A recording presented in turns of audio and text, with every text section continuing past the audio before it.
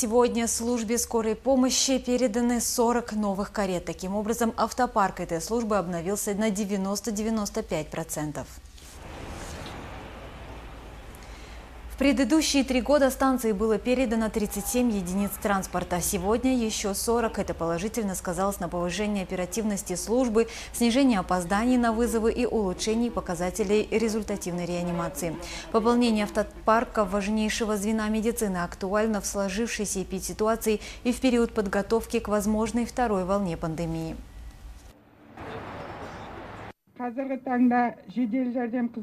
Благодаря централизации службы в городе и в районах населению на должном уровне оказывается скорая медицинская помощь. Следует отметить, Кызлардинская станция скорой помощи на первых строчках в рейтинге Национального координационного центра экстренной медицины. Жители отдаленных населенных пунктов реально ощущают доступность, качество и оперативность скорой помощи.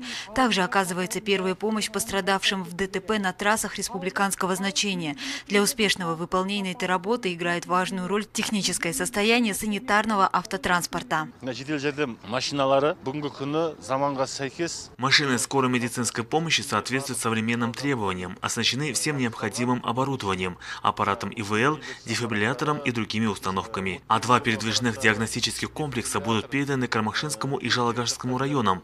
Преимущество этих комплексов – они работают и зимой, и летом. Имеют рентгенаппарат, лабораторию, гинекологическое кресло, УЗИ-аппарат. Это все поможет улучшить качество оказания медицинской помощи.